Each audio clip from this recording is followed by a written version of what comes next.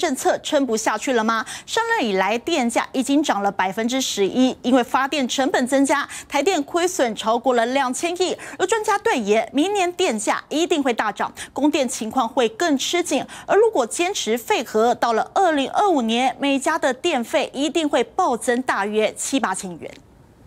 黑压压一片，停电跳电的日常又在上演。总统蔡英文二零一六年上任后宣誓电价不会大涨，但二零一八年调涨百分之三，今年七月又大涨百分之八点四，上任来电价已经涨了百分之十一。专家说，错误的能源政策已经撑不下去，明年电价势必大涨。政府坚持要废核，我们的核电发电成本只有剩下一块钱。你是干净的能源跟便宜的能源你都不用，电价一定会涨，用电又会出问题。从能源占比来看，燃煤、天然气。比例最高，发电成本较便宜的核能只有不到百分之十，但燃料成本比去年增加了三千亿，台电亏损超过两千亿，经济部编列增资一千五百亿来补也难补破网。专家炮轰让人民用费发电亏损还要全民买单，电力不够，电价又大涨，恐怕就是你我的日常。明年三月二的二号机服役之后，供电的情况就会变得更吃紧，低于百分之六的供电警戒天数，定比今年跟去年都还要来得更多。以目前每度电二点七元来算，发电成本增加，每度电要涨到四块钱。一家四口若平均每月用电五百度，一年电费将暴增七千八百元。